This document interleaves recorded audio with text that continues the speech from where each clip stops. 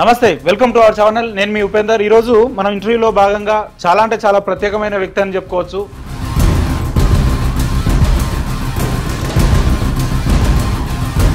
తెలంగాణ రాష్ట్ర రాజకీయాల్లో తనకంటూ ఒక క్రియాశీలకమైన పాత్ర పోషిస్తున్నటువంటి వ్యక్తి.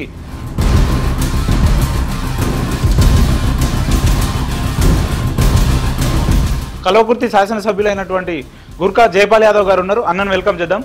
అన్న నమస్కారం అన్న. నమస్కారం. వెల్కమ్ టు అవర్ ఛానల్ బాగున్నారా అన్న? థ్యాంక్ యూ భవన్ నిజంగా బాగున్నారా? లేదంటే ఏదో చెప్పాలి కాబట్టి చెప్తున్నారా అన్న? నేను ఆల్వేస్ హ్యాపీ ఓకే. ప్రభుత్వం చేపడుతున్నటువంటి సంక్షేమ పథకాలు కావచ్చు కల్వకుర్తి నియోజకవర్గ ప్రజలకు రావట్లేదు అందుతలేదు అభివృద్ధికి కాస్త శూన్యం అయిపోయింది నియోజకవర్గం అని అంటే మీరేమంటారు? ప్రతి కుటుంబానికి ప్రతి వ్యక్తికి ఈరోజు అందరు కూడా అందిస్తున్నటువంటి నియోజకవర్గము మా కలవకుర్తి.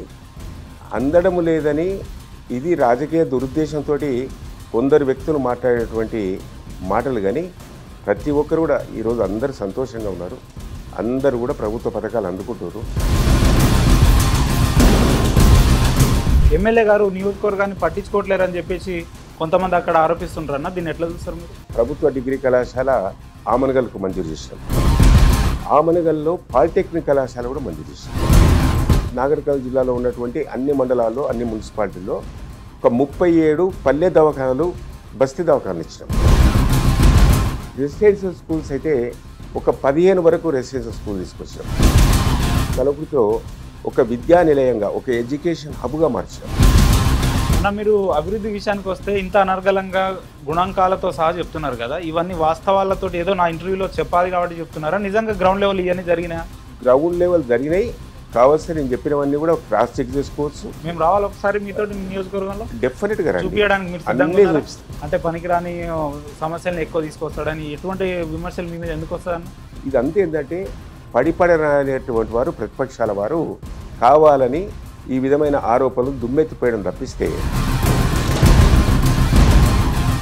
అసలు కల్వకుర్తి నియోజకవర్గంలో జయపాల్ యాదవ్ గారు పార్టీలో ఒకరిని తీసుకొస్తే పార్టీ నుంచి పది మందిని బయటికి పంపిస్తాడు. అనే యొక్క వాదన అపో మీ ఉందన్న? ఇంతవరకు వస్తాం ప్రతిరోజు వందలాది మంది మా పార్టీలో కలుస్తారు. అన్ని కులాల వారు కలుస్తారు అన్ని మతాల వారు.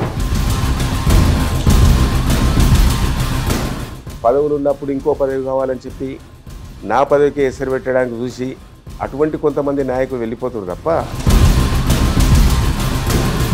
స్వార్థం కొరకు వెళ్ళిపోతున్నారు నాయకులు ఉన్నారా? కొంత సామాజిక వర్గం ఉంది. ఇక పేరంటే ఇప్పుడు మా ఎమ్మెల్సీ. రెండవసారి ఎమ్మెల్సీ పదవి ఇచ్చిన తర్వాత ఒక్క రూపాయి ఖర్చు లేకుండా ఏకగ్రీవంగా ఇచ్చిన తర్వాత కూడా అతడు పార్టీని వదిలి కాంగ్రెస్ పార్టీకి వెళ్ళిపోవడం జరిగింది కార్యకర్తలతో దురుసుగా ప్రవర్తిస్తారని చెప్పి ప్రత్యర్థులకు సపోర్ట్ చేస్తున్న ఎంపీటీసీలను జెడ్పీటీసీలను వేధించి కేసులు వేపిస్తారు అని చెప్పేసి వాదన ఉంది మీ మీద? లేదు అసలు. లేదు నేను ఏ ప్రత్యర్థిని కూడా వేధించను నా దగ్గరికి నా శత్రువు వచ్చినా రాజకీయంలో no permanent enemy no permanent friend శాశ్వతమైనటువంటి మిత్రత్వం లేదు శాశ్వతమైన శత్రుత్వం లేదు. ససిరెడ్డి నారాయణ రెడ్డి గారి మధ్య మీ మధ్య ఒక పచ్చగడ్డ వేస్తే బగ్గుమనే విధంగా ఉంది అని అంటే అసలు ఇక్కడ ఎక్కడ తెరలేపింది ఈ అంశాలు ఏంది అసలు? అంటే ఆయనకు ఎమ్మెల్సీ ఉన్నప్పుడు నేను కాన్స్టిట్యున్సీ మొత్తం కూడా కమాండింగ్ చేయాలి నేను ఎమ్మెల్యే కావాలి మళ్ళీ మొత్తం కూడా నేను ప్రోటోకాల్ నాకే ఉంటుంది నేనే హెడ్ ఆ విధంగా దురాశకు లోనే నీకు చిత్తశుద్ధి ఉంటే నీతి నిజాయితీ ఉంటే ఏ విధమైనటువంటి మాన మర్యాదలు ఉంటే మానవత్వం ఉంటే ఫస్ట్ ఎమ్మెల్సీకి రాజీనామా. అన్న నమస్కారం అన్న. నమస్కారం. వెల్కమ్ టు అవర్ ఛానల్ బాగున్నారా అన్న? థ్యాంక్ యూ భవన్ నిజంగా బాగున్నారా? లేదంటే ఏదో చెప్పాలి కాబట్టి చెప్తున్నారా అన్న? నేను ఆల్వేస్ హ్యాపీ ఓకే అన్న ఇప్పుడున్న పరిస్థితులలో అసలు ఏం జరుగుతుంది కల్వకుర్తి నియోజకవర్గంలో అంటే మీరు ఏం చెప్తారన్నా? కల్వకుర్తి నియోజకవర్గము చాలా చైతన్యవంతమైనటువంటి నియోజకవర్గం.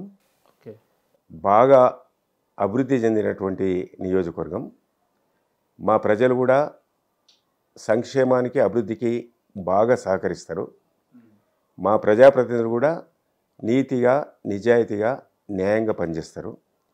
ఎప్పటికీ ప్రజల మధ్యలో ఉంటారు. ప్రజలకు అందుబాటులో ఉండి రాష్ట్ర కేంద్ర ప్రభుత్వాల ద్వారా వచ్చేటువంటి అభివృద్ధి కార్యక్రమాలను నిరంతరం ప్రజలకు అందివ్వడంలో తెలంగాణ రాష్ట్రంలో కలవకుర్తి ప్రజానీకం కానీ కలవకుర్తి ప్రజాప్రతినిధులు కానీ నాయకులు కానీ ఎప్పుడు కూడా ముందుండి అన్ని మౌలిక సదుపాయాలు కనీస అవసరాలు అన్ని ఇలా అన్ని రంగాలు అభివృద్ధి చేయడానికి కలవకుర్తి ప్రజలు ఎల్లప్పుడూ కూడా ముందుంటారు. ఓకే. ప్రభుత్వం చేపడుతున్నటువంటి సంక్షేమ పథకాలు కావచ్చు లేదంటే ఇవన్నీ కూడా కల్వకుర్తి నియోజకవర్గ ప్రజలకు రావట్లేదు అందుతలేదు. అభివృద్ధికి కాస్త శూన్యం అయిపోయింది నియోజకవర్గం అని అంటే మీరేమంటారు? అసలు కలవకుర్తి ప్రభుత్వం ద్వారా వచ్చేటువంటి ప్రతి పథకం కూడా ఒక్క పథకం విడిచిపెట్టకుండా ఓకే. ఇంకా ప్రత్యేకమైన పథకాలు తీసుకొచ్చి ప్రత్యేకమైన అభివృద్ధి తీసుకొచ్చి ఇంకా సంక్షేమంలో కూడా అదనంగా కోట తీసుకొచ్చి కల్వకుర్తిలో ప్రతి కుటుంబానికి ప్రతి వ్యక్తికి ఈరోజు అందరు కూడా అందిస్తున్నటువంటి నియోజకవర్గము మా కల్వకుర్తి అందడము లేదని ఇది రాజకీయ దురుద్దేశంతో కొందరు వ్యక్తులు మాట్లాడేటువంటి మాటలు కానీ ప్రతి ఒక్కరు కూడా ఈరోజు అందరూ సంతోషంగా ఉన్నారు. అందరూ కూడా ప్రభుత్వ పథకాలు అందుకుంటున్నారు. అరువులైనటువంటి అందరు కూడా అందిస్తున్నాము. అందులో దళితులు కావచ్చు గిరిజనులు కావచ్చు బలహీన వర్గాలు కావచ్చు చేతి వృత్తులు కావచ్చు కుల వృత్తులు కావచ్చు మహిళలు కావచ్చు యువతి యువకులు కావచ్చు. దాంతోపాటు ఈబీసీలు ఎకనామికల్లీ బ్యాక్వర్డ్ క్లాసెస్. ఆర్థికంగా వెనుకబడిన ఉన్నత కులాలకు కూడా మేము ప్రతి కుటుంబానికి ప్రతి వ్యక్తికి పథకాలు అందిస్తున్నాము. ఈ పథకాలు అందడము లేదని ఈ విధంగా దుష్ప్రచారం చేయడము ప్రతిపక్షాల యొక్క ఈరోజు పాత్ర పోషిస్తున్నారు. కానీ అందరికీ పథకాలు అందిస్తారు కల్వకుర్తి నియోజకవర్గంలో ఇప్పటి వరకు ప్రభుత్వ డిగ్రీ కళాశాల లేదు వంద పడకల ఆసుపత్రి రాలేదు. ఎమ్మెల్యే గారు నియోజకవర్గాన్ని పట్టించుకోవట్లేరని చెప్పేసి కొంతమంది అక్కడ ఆరోపిస్తుంటారు అన్న దీన్ని ఎట్లా చూస్తారు మీరు? డిగ్రీ కళాశాల ప్రభుత్వ డిగ్రీ కళాశాల ఆమనగల్కు మంజూరు చేసినాం. ఓకే. జీవో ఇష్యూ చేసినాం. డిగ్రీ కళాశాలకు సంబంధించినటువంటి ప్రాసెస్ మొత్తం కూడా కంప్లీట్ అయిపోయింది. డిగ్రీ కళాశాలనే కాదు ఆమనగల్లో పాలిటెక్నిక్ కళాశాల కూడా మంజూరు చేసినాం. ఓకే. దాన్ని కూడా పదిహేను ఎకరాల స్థలాన్ని కేటాయించడం ఆమనగల్లో ఒక ప్రభుత్వ జూనియర్ కళాశాల లేకుంటే తొమ్మిది ఎకరాల పదిహేడు గుంటల ల్యాండ్ తీసుకొని అందులో రెండు కోట్ల యాభై లక్షల రూపాయలు ఇచ్చి ఆ ప్రభుత్వ జూనియర్ కళాశాల బిల్డింగ్స్ కూడా ప్రారంభించడం ఆల్మోస్ట్ నైంటీ పర్సెంట్ అయిపోయింది. తలకొండపల్లిలో జూనియర్ కళాశాల లేకపోతే తలకొండపల్లి కూడా జూనియర్ కళాశాల ఇచ్చడం. అదేవిధంగా కల్వకుర్తిలో డిగ్రీ కాలేజెస్ ఉన్నాయి పీజీ కాలేజెస్ ఉన్నాయి. కల్వకుర్తి ఇది కాన్స్టిట్యున్సీ హెడ్ క్వార్టర్. అదేవిధంగా ఈరోజు ఆమనగల్లో ఉన్నటువంటి టెన్ బెడెడ్ హాస్పిటల్ను ఫస్ట్ థర్టీ బెడెడ్ హాస్పిటల్ చేసినాం. దాని ఇప్పుడు ఫిఫ్టీ బెడెడ్ హాస్పిటల్ కింద ఏరియా హాస్పిటల్ అంటుంది వైద్య విధాన పరిషత్ కింద తీసుకొచ్చి దానికి పదిహేడు కోట్ల యాభై లక్షల రూపాయలు బిల్డింగ్స్ కూడా మంజూరు ఇచ్చి ఇప్పించి ఇటీవల కాలంలో హరీశ్వరరావు గారితో భూమి పూజ శంకుస్థాపన కూడా చేసినాం. ఓకే. దాంతోపాటు కలవకుర్తిలో ఉన్నటువంటి ఫిఫ్టీ బెడెడ్ హాస్పిటల్. దాన్ని మదర్ చైల్డ్ హాస్పిటల్ కింద దాన్ని కన్వర్ట్ చేస్తూ అదనంగా హండ్రెడ్ బెడెడ్ హాస్పిటల్ తీసుకొచ్చి మూడు ఎకరాల స్థలాన్ని సరి నెంబర్ తొంభై తొమ్మిది ఇచ్చి దానికి పదిహేడు కోట్ల యాభై లక్షల రూపాయలతో దాన్ని కూడా శంకుస్థాపన చేసినాం. అంతేకాకుండా మా కలవకుర్తిలో రంగారెడ్డి జిల్లాలో నాగరికల్ జిల్లాలో ఉన్నటువంటి అన్ని మండలాల్లో అన్ని మున్సిపాలిటీల్లో ఒక ముప్పై ఏడు పల్లె దవాఖానాలు బస్తీ దవాఖానాలు ఇచ్చినాము రంగారెడ్డి జిల్లాకు సంబంధించి ఇరవై ఒకటి ఇచ్చినాము. నాగరికల్ జిల్లాకు సంబంధించి పదహారు ఇచ్చినాము మొత్తం పల్లె దవాఖానాలు బస్తీ దవాఖానాలు మరి ఈరోజు ముప్పై ఏడు ఏర్పాటు చేసినాం. బిల్డింగ్స్ కూడా శంకుస్థాపన బిల్డింగ్స్ కూడా ఒక్కొక్క బిల్డింగ్కి ఇరవై ఇరవై ఇరవై లక్షల రూపాయలు ఇచ్చినాం. అదేవిధంగా ఈరోజు కలవకుర్తిలో రెసిడెన్షియల్ స్కూల్స్ అయితే ఒక పదిహేను వరకు రెసిడెన్షియల్ స్కూల్ తీసుకొచ్చాం ఒక నియోజకవర్గంలో పదిహేను పదిహేను పదిహేను. సాధ్యం అయ్యింది. మాకు సోషల్ వెల్ఫేర్ కానీ ట్రైబల్ వెల్ఫేర్ కానీ బీసీ వెల్ఫేర్ కానీ అది ఆడపిల్లలకు అదేవిధంగా మగపిల్లలకు స్టూడెంట్స్కు అన్ని మండలాల్లో అన్ని రెసిడెన్షియల్ స్కూల్స్ మంజూరు చేయించినాం ఇవాళ కలకుర్తిలో దగ్గర దగ్గర ఒక కలకుర్తి పట్టణంలో ఒక పదివేల మంది విద్యార్థులు ఈరోజు అన్ని స్థాయిలో విద్య అభ్యసించడం జరుగుతుంది. దాంతోపాటు అన్ని మండల కేంద్రాల్లో కేజీబీవి కస్తూరిబా స్కూల్స్ కూడా అది జూనియర్ కాలేజీ వరకు చేసి- చేసినాం. ఫస్ట్ స్టార్ట్ అయినప్పుడు ఎస్ఎస్సి వరకు ఉన్నది. ఇంటర్ చేసినాం జూనియర్ కాలేజ్ కూడా చేసినాం. ఇప్పుడు జూనియర్ కాలేజ్ కూడా చేసినాం. ఆ విధంగా కలకృతిలో ఒక విద్యా నిలయంగా ఒక ఎడ్యుకేషన్ హబ్గా మార్చినాం ఓకే. దానికి తోడు సెంట్రల్ నుంచి వచ్చేటువంటి ఒక ఏకలవ్య స్కూల్ వెల్దండలో పదిహేను ఎకరాల్లో ఇరవై ఐదు కోట్ల రూపాయలతో నిర్మాణం చేసినాం. అది కంప్లీట్గా ఎస్టీ పిల్లలకి. అదేవిధంగా కలవకుర్తిలో ఒక మోడల్ డిగ్రీ కాలేజ్ తీసుకొచ్చాం నేను కేంద్రానికి వెళ్ళి అక్కడ మానవ వనరుల శాఖ అప్పుడు కపిల్ సిబాల్ మంత్రిగా ఉన్నాడు పురంధరేశ్వరి అప్పుడు స్టేట్ మినిస్టర్ ఉన్నాడు నేను కలవకుడితో ఒక డిగ్రీ కళాశాల తీసుకొచ్చి మోడల్ డిగ్రీ కళాశాల. దానికి ఇరవై ఐదు కోట్ల రూపాయలు మంజూరు చేపించి పది ఎకరాల స్థలం ఇచ్చి ఇలా బ్రహ్మాండంగా నడుస్తుంది. అంతేకాకుండా వెల్దండలో ఒక మోడల్ హై స్కూల్ కూడా తీసుకొచ్చాం అది కూడా పన్నెండు వందలతోటి ఆరు వందల మంది పిల్ల ఆడపిల్లలు ఆరు వందల మంది మగ పిల్లలు ఈ విధంగా కంప్లీట్గా ఈ కార్యక్రమాలు మొత్తం కూడా పెద్ద ఎత్తున మీరు అభివృద్ధి విషయానికి వస్తే ఇంత అనర్గళంగా గుణాంకాలతో సహా చెప్తున్నారు కదా ఇవన్నీ వాస్తవాలతో ఏదో నా ఇంటర్వ్యూలో చెప్పాలి కాబట్టి చెప్తున్నారా? నిజంగా గ్రౌండ్ లెవెల్ ఇవన్నీ జరిగినా? గ్రౌండ్ లెవెల్ జరిగినాయి. కావాల్సి నేను చెప్పినవన్నీ కూడా క్రాస్ చెక్ చేసుకోవచ్చు. ఓకే. మళ్ళీ ఒకసారి ఎగ్జామిన్ చేసుకోవచ్చు. మేము రావాలి ఒకసారి మీతో నియోజకవర్గంలో? డెఫినెట్గా అన్ని? చూపిస్తాం రైట్. అన్న మీరు ఇంత అనర్గళంగా మాట్లాడుతున్నారు ఇన్ని అభివృద్ధి చేసినాం అని చెప్పుకొస్తున్నారు. ఇటువంటి వ్యక్తి మీద ఎందుకన్నా పొద్దున్న లేస్తే ఆరోపణలు వస్తూ ఉంటాయి. అభివృద్ధి శూన్యం చేసిండు లేదంటే కార్యకర్తల్ని పట్టించుకోడు పార్టీలో అంటే పనికిరాని సమస్యల్ని ఎక్కువ తీసుకొస్తాడని ఎటువంటి విమర్శలు మీ మీద ఎందుకు వస్తాయన్న? నేను అసలు ఒక యూత్ ప్రెసిడెంట్గా జిల్లా ప్రెసిడెంట్గా ఒక పార్టీ అధ్యక్షుడిగా పద్నాలుగు సంవత్సరాలు మహబూబ్నగర్ జిల్లాకు ఒక అఫీషియల్ స్పోక్స్ పర్సన్గా ఒక ఆర్గనైజింగ్ సెక్రటరీగా పార్టీ పరంగా పదవులు నిర్వహిస్తూ ఒక గ్రామ సర్పంచ్గా రెండు సార్లు ఒక జిల్లా పరిషత్కు రెండు సార్లు మూడు సార్లు ఎమ్మెల్యేగా ఒక స్టేట్ బీసీ ఫైనాన్స్ కార్పొరేషన్ చైర్మన్గా ఒకసారి రాష్ట్రం మొత్తం కూడా పర్యటించిన ప్రజల మధ్యనే ఉంటా. నేను చిన్నప్పటి నుంచి ఒక గ్రామ సర్పంచ్ నుంచి ప్రజల మధ్యలో ఉండి కార్యకర్తల మధ్య నుండి అందరి ఆదరించి గౌరవించి కులాలకు మతాలకు వర్గాలకు అతీతంగా ఒక అజాత శత్రువు మాదిరిగా నేను పనిచేస్తున్నా. రోజు నా దగ్గరికి వందలాది మంది మీరు ఇప్పుడు కింద చూసారు వందలాది మంది రోజు ఒక ఐదు వందల మంది ఇక్కడ వస్తారు. నేను కాన్స్టిట్యూన్సీకి పోతే రోజు ఒక వెయ్యి మంది సమస్యలు పరిష్కారం చేస్తాను ఓకే. అన్ని మండల కేంద్రాలు తిరుగుతా. ఇదంతా ఏంటంటే పడిపడనేటువంటి వారు ప్రతిపక్షాల వారు కావాలని ఈ విధమైన ఆరోపణలు దుమ్మెత్తిపోయడం తప్పిస్తే క్షేత్రస్థాయిలో వారు చేసినటువంటి ఆరోపణలు ఎక్కడ కూడా వాస్తవం కాదు. నేను ఎప్పుడు కూడా ఒక వ్యక్తిని దూషించలేదు ఒక వ్యక్తికి అమర్యాదగా చూడలేదు. ప్రతి వ్యక్తిని కూడా ఏ కులమైన ఏ మతమైన ఏ స్థాయి అయినా సమానంగా కూర్చుని పెట్టుకొని మాట్లాడుకొని స్వయంగా నేను లెటర్ రాసి స్వయంగా నేను ఫోన్లు చేసి స్వయంగా అవసరం అనుకుంటే నేను వెళ్ళి ఆ పనులు చేయించి ఇలా మా కలగుడు తాలూకాలో ఉన్నటువంటి సమస్యలు నూటికి తొంభై తొమ్మిది శాతం పరిష్కారం చేస్తున్నా సాల్వ్ చేస్తున్నా. ఎందుకంటే నాకు అందరు సహకరిస్తారు. అధికార యంత్రాంగం అంటే చిన్నప్పటి నుంచి కలిసి ఉన్నాం కాబట్టి ఆ విధంగా మంచి పేరు ఉంది కాబట్టి వాళ్ళు కూడా సంపూర్ణంగా సహకరిస్తారు. ఒక తీవ్రమైన సమస్యలు కూడా పరిష్కారం అయిపోతున్నాయి. ఈ ఇవన్నీ కూడా అబద్ధాలు ఆరోపణలు వాస్తవం కాదు. అదంత తప్పు వాళ్ళు చెప్పేటువంటి ఆరోపణలు. అదంత నిజం కాదు. ప్రజల దగ్గరికి వెళ్తే తెలుస్తుంది.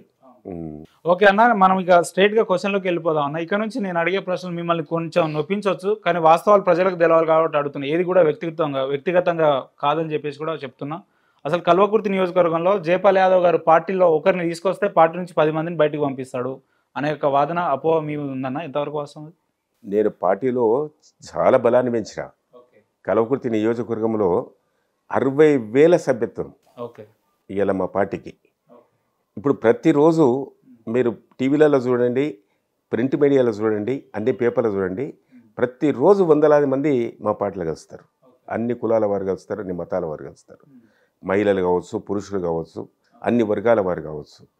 నేను పార్టీలకు ఆహ్వానించి తీసుకురావడం తప్పిస్తే పార్టీ నుంచి కూడా ఎవరిని కూడా నేను పంపించాను ఓకే. కావాలని వాళ్ళు దురుద్దేశంతో పదవులు ఉన్నప్పుడు ఇంకో పదవి కావాలని చెప్పి నా పదవికి ఎసరు పెట్టడానికి చూసి అటువంటి కొంతమంది నాయకులు వెళ్ళిపోతున్నారు తప్ప స్వార్థం కొరకు వెళ్ళిపోతున్నారు ఉన్నారా. కొంత సామాజిక వర్గం ఉంది. పేరు చెప్పగలుగుతారా? ఇక పేరంటే ఇప్పుడు మా ఎమ్మెల్సీ. ఓకే. మా ఎమ్మెల్సీ గౌరవ ముఖ్యమంత్రి గారు ఆయన పిలిచి ఫస్ట్ టైం ఎమ్మెల్సీగా ఇచ్చాడు. ఆయన విద్యా సంస్థలు నడుపుకునేది. అటువంటి వ్యక్తిని పిలిచి ఒక ఎమ్మెల్సీ ఆరు సంవత్సరాల కొరకు ఇచ్చాడు ఆరు సంవత్సరాలు పూర్తి చేసుకున్నాడు. ప్రభుత్వం ఇచ్చేటువంటి ఇలా సిఎంఆర్ఎఫ్ కానీ ఎల్ఓసీలు కానీ ప్రభుత్వం ద్వారా వచ్చేటువంటి ఇతర కార్యక్రమాలు కానీ ప్రభుత్వంలో ఉన్నటువంటి ప్రోటోకాల్ కానీ అదేవిధంగా ప్రభుత్వం ఇచ్చేటువంటి ACDF assembly constituency development fund కానీ అవన్నీ ఉపయోగించుకొని అతడు మొన్న ముఖ్యమంత్రి గారు అభ్యర్థులు ప్రకటించిన తర్వాత మళ్ళీ నాకు ఎమ్మెల్యే టికెట్ కావాలని చెప్పి కొంతమంది అనుచరులు పెట్టుకొని ప్రతి మండల కేంద్రాల్లో ప్రెస్ మీట్లు పెట్టించాడు. ప్రెస్ మీట్లు పెట్టించి క్యాండిడేట్ మారవాలి. అయితే మన దగ్గర ఇక్కడ పొరపాటు లేదు. ముఖ్యమంత్రి గారు అరవై ఆరు సర్వేలు చేపించాడు. అరవై ఆరు సర్వేలో కూడా ఎక్కడ చూసినా ఆ సర్వేలో మనకు ఎక్కడ చూసినా ప్లస్ పాయింటే ఉంది. ముఖ్యమంత్రి గారు చిన్నప్పటి నుంచి తెలుసు కాబట్టి మేము కలిసి పనిచేసినాం కాబట్టి నా మీద ఆరోపణలు లేవు అవినీతి లేదు అక్రమాలు లేవు. ప్రజల్లో పేరుంది మంచి పేరుంది సేవ చేసిండు నలభై సంవత్సరాలనే ఉద్దేశంతో ఆయన నీకు ఎమ్మెల్సీ ఉంది కదా ఇంకా ఐదు సంవత్సరాలు ఉంది కదా ఐదు సంవత్సరాలు ఉంది కాబట్టి నీకు అదనంగా ఇంకేమన్నా ఇస్తాను ఆ శాసనమండలి అని చెప్పి చెప్పాడు ముఖ్యమంత్రి చెప్పిండు కేటీఆర్ చెప్పిండు.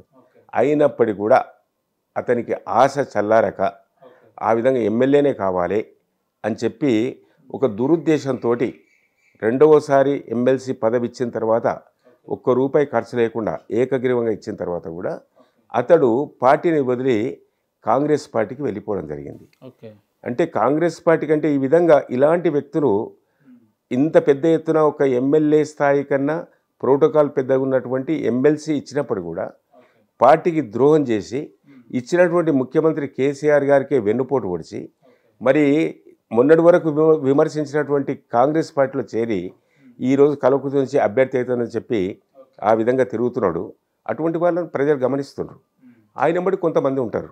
ఎందుకంటే ఆయన మా పార్టీలో ఉన్నప్పుడు పోటీగా ఈ సీఎంఆర్ఎఫ్ కానీ ఎల్ఓసీలు కానీ తర్వాత సీఎం ఇచ్చినటువంటి ఏసీడీపీ ఫండ్ కానీ లేకుండా ప్రభుత్వం ద్వారా అయ్యే పనులు కానీ మా కలవకుర్తిలో నిజమైనటువంటి బీఆర్ఎస్ పార్టీ నాయకులు బీఆర్ఎస్ ప్రజలు బీఆర్ఎస్ పార్టీ ప్రజాపతిలు వాళ్ళంతానేమో ఎమ్మెల్యే దగ్గరకు వస్తారు. ఓకే.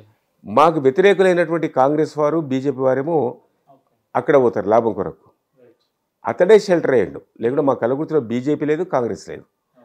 ఈ ఈ పది సంవత్సరాల నుంచి అతను షెల్టర్ ఇచ్చాడు కాబట్టి కొంతమంది కొంత బతికింది ఆ పార్టీలో. ఇప్పుడు అటు అటువంటి వాళ్ళే అతనికి మద్దతు తెలుపుతారు అతని వెంట పోతారు జైపాల్ యాదవ్ అనే వ్యక్తి పైన కనిపించడానికి ఇంత సున్నితంగా ఇంత అంటే ఒక అమాయకుడు లెక్క కనిపిస్తున్నప్పటికీ ఆయనకు తెలియని రెండో పాత్ర కూడా ఉందని చెప్పేసి స్థానికంగా మీ ప్రత్యర్థులు ఆరోపిస్తారన్న వాస్తవం అది? ఏంటి రెండో పాత్ర.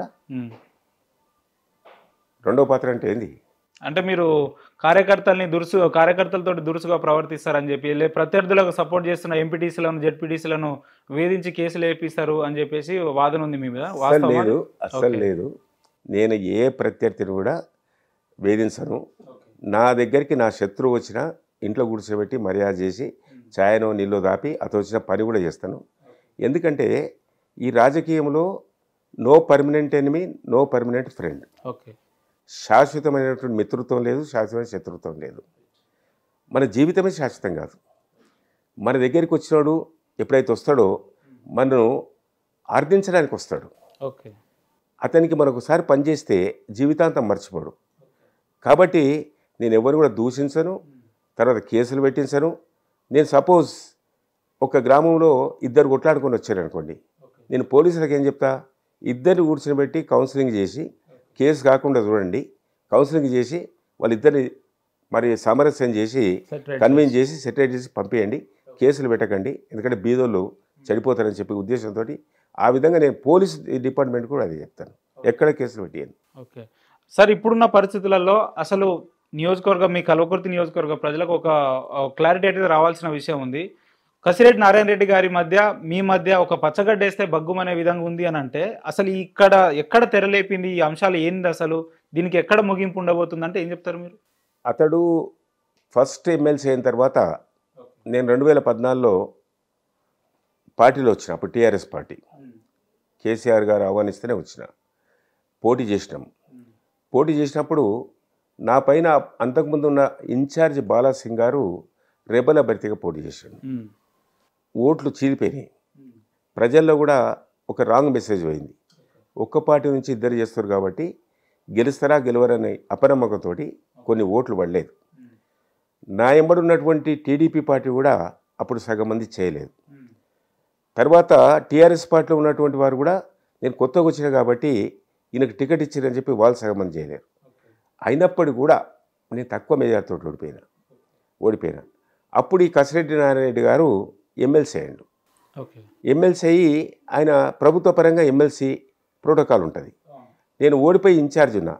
కానీ పార్టీ పరంగా ఉంటుంది కానీ నాకు ప్రభుత్వ పరంగా ప్రోటోకాల్ ఉండదు. ఉండదు. అప్పటి నుంచి ఆయన ఆ విధంగా ఇక నేనే ఇన్ఛార్జ్ నేనే నాకు ప్రోటోకాల్ ఉంది అని చెప్పి ఆ విధంగా బిహేవ్ చేసుకుంటూ ఆ విధంగా వ్యవహరిస్తూ చివరికి ఏమైందంటే రెండవసారి అయిన తర్వాత కూడా మళ్ళీ నాకు ఎమ్మెల్యే టికెట్ కావాలి. ముఖ్యమంత్రి గారు ఏం చేసిండు? ఎమ్మెల్యేలు ఆ నియోజకవర్గానికి హెడ్. ఎమ్మెల్యే పెట్టినటువంటి ప్రోగ్రామ్స్కు ఎమ్మెల్సీలైనా ఎంపీలైనా రాజ్యసభ మెంబర్స్ అయినా లేకుంటే జిల్లా పరిషత్కు సంబంధించిన చైర్మన్లు అయినా ఇతర చైర్మన్లు అయినా స్టేట్ లెవెల్ చైర్మన్లు అయినా ఆ ప్రోగ్రాంలు పెట్టినప్పుడు పార్టీ ప్రోగ్రామ్స్ కానీ ప్రభుత్వ ప్రోగ్రామ్స్ కానీ పిలిస్తే మీరు వెళ్ళండి ఆ ప్రోగ్రామ్ చేసుకొని రండి. కానీ ఎమ్మెల్యేలు పెట్టినటువంటి ప్రోగ్రాం చెడగొట్టొద్దు అని చెప్పి వాళ్ళకి సహకరించమని ముఖ్యమంత్రి గారు ఓ ఆదేశం ఇచ్చారు. ఆయనకు దురాశ మొదలైంది. ఓకే. ఎందుకంటే అంత ఎమ్మెల్యే ఆధ్వర్యంలో నడుస్తుంది కాబట్టి నేను ఎమ్మెల్యే కావాలని ఒక దురాశతోటి అతడు ఈ విధంగా వ్యవహరిస్తుంది తప్ప ఎట్లుంటది సార్? అంటే స్థానిక అన్ని అధికారాలు కూడా శాసనసభ్యులకే మొదటగా ఉంట- ఉంటది కదా? మరి ఎమ్మెల్సీ అట్లా ఉండడం ఏంది? అంటే ఆయనకు ఎమ్మెల్సీ ఉన్నప్పుడు నేను కాన్స్టిట్యున్సీ మొత్తం కూడా కమాండింగ్ చేయాలి. నేను ఎమ్మెల్యే కావాలి. మళ్ళీ మొత్తం కూడా నేను ప్రోటోకాల్ నాకే ఉంటుంది. నేనే హెడ్ ఆ విధంగా దురాశకు లోనయ్యండు ఓకే ముఖ్యమంత్రి గారి ఆదేశాన్ని కానీ ముఖ్యమంత్రి గారి డ- డైరెక్షన్ కానీ ఫాలో చేయలేదు. ఎప్పుడు వంకర చేస్తలే. ఎప్పుడు తప్పుడు విధానాలే. ఆ విధంగా అతడు దురాశతోటి దుర్బుద్ధితోటి ఈరోజు ఒక మంచి పదవి ఇచ్చినటువంటి కేసీఆర్ గారికి వెన్నుపోటు పొడిచి ద్రోహం చేసి వెళ్ళిపోయాడు. నేను ఒకటే కోరుతున్నా నీవు దురాశతోటి దుర్బుద్ధితోటి ఎప్పుడైతే పార్టీని విడిచిపెట్టి వెళ్ళిపోయినావో పార్టీ ఇచ్చినటువంటి పదవి కూడా రాజీనామా చేయాలి. ఓకే. నువ్వు బీఆర్ఎస్ పార్టీకి రాజీనామా చేసినని చెప్పి ఢిల్లీలో పోయి మల్లికార్జున ఖర్గే దగ్గర నువ్వు పార్టీలో జాయిన్ అయినావు కదా? కండువ కప్పుకున్నావు కదా? కేసీఆర్ ఇచ్చినటువంటి ఎమ్మెల్సీకి రాజీనామా చేయి. నీకు చిత్తశుద్ధి ఉంటే నీతి నిజాయితీ ఉంటే ఏ విధమైనటువంటి మాన మర్యాదలు ఉంటే మానవత్వం ఉంటే ఫస్ట్ ఎమ్మెల్సీకి రాజీనామా చేయి. రాజీనామా చేస్తే నిజంగానే కసిరెడ్డి నారాయణ రెడ్డి మరి ఇచ్చినటువంటి పార్టీకి ద్రోహం చేయలేదు రాజీనామా చేసిరని చెప్పి ఆ విధంగా భావించవలసి వస్తుంది. ఇదే కసిరెడ్డి నారాయణ రెడ్డి గారిని మేము గతంలో చేసిన ఇంటర్వ్యూ కంటే ఈ మధ్యనే చేసినాం. కల్వకుర్తి అసలు అభివృద్ధికి శూన్యం అయిపోయింది. అక్కడ ఎటువంటి అభివృద్ధి చేయలేదు ఎమ్మెల్యే. ఏదో అక్కడ చిన్న రెండు కిలోమీటర్ కాలువ కూడా తీయలేకపోయిండు. అది తీస్తే దగ్గర దగ్గర వందల ఎకరాలకు నీళ్ళు పారుతుంది అని చెప్పేసి చెప్తా ఉన్నాడు. మాకు ఇక్కడ ఎక్కడ ఆశ్చర్యం వేసిందంటే గతంలో ఇదే వ్యక్తి కేసీఆర్ గారు ప్రభుత్వం కేసీఆర్ గారు చాలా అంగరంగ వైభవంగా అభివృద్ధి చేసిందని చెప్పుకొస్తున్న వ్యక్తి ఇప్పుడేమో అభివృద్ధి జరుగుతలేదని చెప్తున్నాడు. దీన్ని ఎట్లా చూస్తారు మీరు? అసలు కసిరెడ్డి నారాయణ రెడ్డి గారు రాజకీయ నాయకుడు కాదు. ఒక కార్పొరేట్ విద్యా సంస్థల నుంచి వచ్చినటువంటి వ్యక్తి. క్షేత్రస్థాయిలో గ్రాస్ రూట్ లెవెల్లో ప్రజలకు ఉన్నటువంటి సమస్యలు కానీ అక్కడ ఉన్నటువంటి అభివృద్ధి కార్యక్రమాలు కానీ అన్ని రంగాలకు సంబంధించినటువంటి పనులు కానీ అతనికి తెలియవు. తెలియవు. ఇప్పుడు అభివృద్ధి కాలేదు రెండు కిలోమీటర్ల కాలువ అన్నాడు కదా.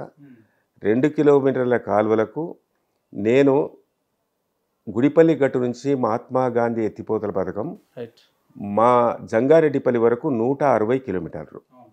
దానికి ఐదు వందల అరవై ఐదు కోట్ల రూపాయలు శాంక్షన్ చేయించడం ఆ కాలువలు మొత్తం కూడా కంప్లీట్ చేయించడం జంగారెడ్డిపల్లి వరకు కూడా వాటర్ వస్తుంది.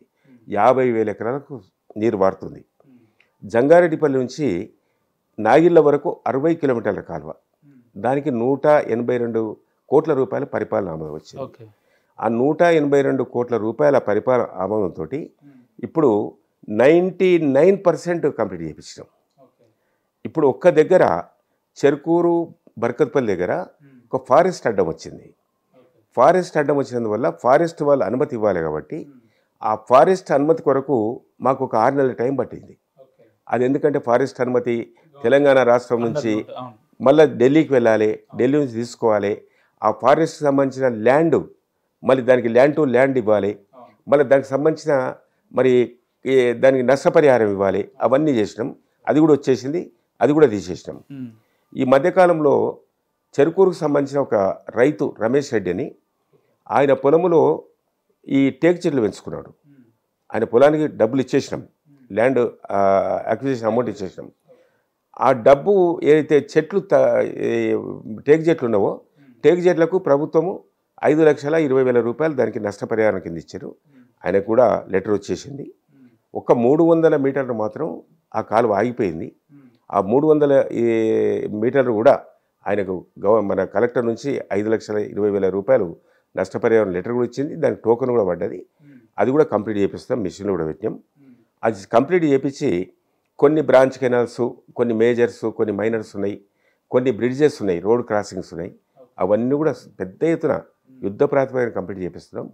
ఇప్పుడు నాగిళ్ళ వరకు అరవై కిలోమీటర్లు. ఈ అరవై కిలోమీటర్ల కాలువకు రేపు శ్రీశైలానికి ఇప్పుడు నీళ్ళు వాటర్ లేదు. శ్రీశైలానికి వాటర్ వచ్చిన తర్వాత ఎప్పుడైతే మహాత్మా గాంధీ ఎత్తిపోతల పథకం ఆ పంపులు స్టార్ట్ అయితేవో గుడిపల్లి గట్టు నుంచి వచ్చేటువంటి package number twenty nine Jangareddipalli వరకు జంగారెడ్డిపల్లి నుంచి అరవై కిలోమీటర్ నాగిల వరకు మేము వాటర్ వచ్చినప్పుడు ఇరువైపులా ఉన్నటువంటి చెరువులు నింపుకుంటాం చెక్ డ్యామ్లు నింపుకుంటాం పర్కషన్ ట్యాంక్స్ నింపుకుంటాం. రైతులకి కాలువ ద్వారా నీళ్ళు ఇస్తాం. అదనంగా ఒక నలభై వేల ఎకరాలకు సాగునీరు ఇస్తాం. అందులో మాడుగుల మండల్ ఆమనగల్ మండల్ కొంత భాగం వెల్దండ. ఈ విధంగా కాలువ ద్వారా తర్వాత చారగొండ కొంత భాగం. ఆ విధంగా నలభై వేల ఎకరాలకు అదనంగా వస్తుంది. ఆ విధంగా యాభై వేల ఎకరాలు ఒకటి నలభై వేల ఎకరాలు ఒకటి మహాత్మా గాంధీ ఎత్తిపోతల పథకం ద్వారా తొంభై వేల ఎకరాలకు సాగునీరు వస్తుంది. ఆ విధంగా ఈ కాలువలు కంప్లీట్ చేపిస్తున్నాం.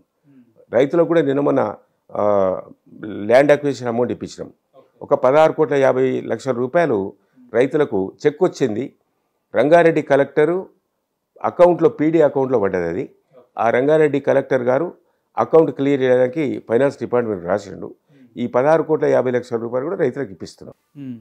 ఓకే జయపాల్ యాదవ్ అనే వ్యక్తి సర్పంచ్గా ఉన్నప్పటి నుంచి టీడీపీలో ఉన్నప్పుడు లేదా ఇప్పుడు టీఆర్ఎస్లో ఉన్నప్పుడు అతను ఓటమిని అంటూ చవిటి చూడని వ్యక్తుల్లో మీరు ఒక ప్రధానమైన వ్యక్తులుగా చెప్పుకోవచ్చు. అంటే దీనికి గల ప్రధాన కారణాలు ఏంటి సార్? అంటే మీ వ్యక్తిగతమా లేదంటే పార్టీ బలం కూడా అంటే ఏం- చెప్తారు మీరు?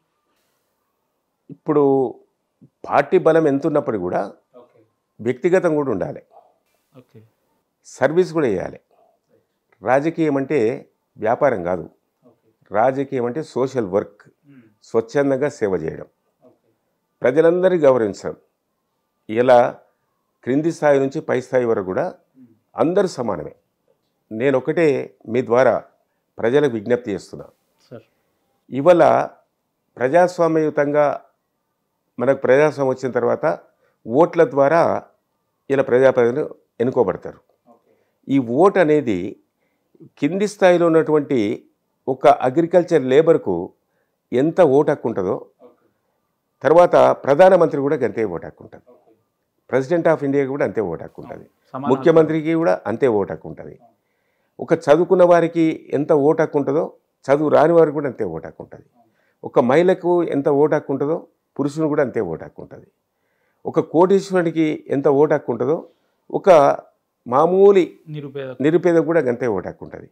కాబట్టి నేను ఆ కోణంలో ఆ కోణంలో కింద పెద్దవారికి ఎంతైతే గౌరవం ఉంటుందో చిన్నవారి కింది వారికి కూడా అంత గౌరవించాలనే ఉద్దేశంతో నేను అందరూ కూడా ఒక సామాజిక దృక్పథంతో సమ సమాజ స్థాపనలో వీరు భాగస్వాములు కావాలనే ఉద్దేశంతో ప్రతి ఒక్కరు కూడా గౌరవించి ఆ విధంగా ప్రతి ఒక్కరితో మాట్లాడి ఆ విధంగా అందరి కలుపుకొని పోయి అందరి కూడా నా వల్ల అయ్యే సాయం శక్తికి మించి కూడా పనిచేసి ఆ విధంగా మా కలవకుర్తి నియోజకవర్గంలో కానీ అప్పుడు ఉన్నటువంటి మహబూబ్నగర్ జిల్లా అధ్యక్షుడు కానీ లేకుంటే నేను స్టేట్ లెవెల్ చైర్మన్ కానీ ఇరవై మూడు జిల్లాలు తిరిగి మొత్తం కూడా ప్రతి జిల్లాలో సమావేశాలు పెట్టి కుల వృత్తులకు చేతి వృత్తులకు కూడా అనేక పరికరాలు ఇచ్చిన. ఐదు వందల కోట్ల రూపాయల ఆ రోజు తొంభై ఏడు తొంభై తొంభై తొమ్మిది సంవత్సరంలో.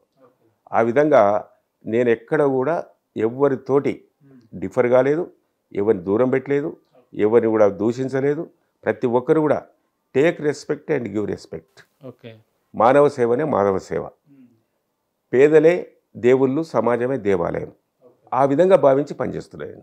నేను ప్రతిరోజు కూడా నేను ప్రతిరోజు కూడా నేను పూజ చేస్తా శ్రీకృష్ణ పరమాత్మ పూజిస్తా భగవద్గీత చదువుతా తర్వాత సూర్య నమస్కారాలు చేస్తా. ఏం ఏం కోరుతా నేనంటే ప్రతి ఒక్కరు కూడా లోకా సమస్త సుఖినోభవంతు. సర్వే జన సుఖినోభవంతు.